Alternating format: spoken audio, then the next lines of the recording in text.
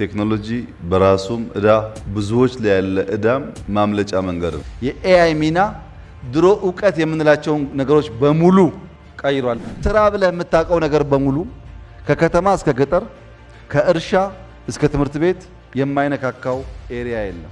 እኛ እንደ መሪ አሁን ጀምረን ካልሰራንበት የዛሬ 20 ዓመት ለልጆቻችን እዳ እንጂ ምንዳ አናስቀርላቸው። በአጭሩ imagination ማለት ነገ ላይ ሆኖ ዛሬን መምራት ማለት ነው።